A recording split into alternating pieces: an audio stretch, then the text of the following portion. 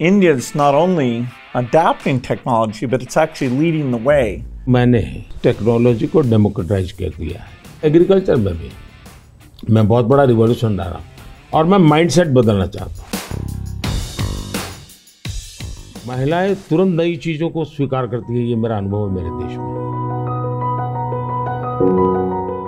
आपकी ज़िंदगी का सबसे संतोषजनक पल कौन सा आया होगा? When you see people using the technology, that's been very gratifying.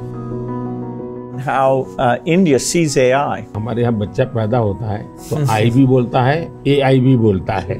हाँ यूजिंग माई नमो ऐप ये मेरा फ़ोटो बूथ है। अब आप सेल्फी ले लीजिए इस पर। मेरे साथ आपके जितने भी फ़ोटो होंगे सारे इस पर आ जाएँगे। You're one of the hardest working people ever. When you do want to relax, uh, do you have a game or something helps you to, to take time off? तो मेरा बॉडी एक प्रकार से ट्रेंड हो चुका है और इसलिए मुझे रिलैक्स करने के लिए कुछ एक्स्ट्रा किसी चीज़ की ज़रूरत नहीं पड़ती मेरे मन में हमेशा एक इमोशनल अटैचमेंट है कि जो मिशन मेरे सामने है मैं उसको जीता हूँ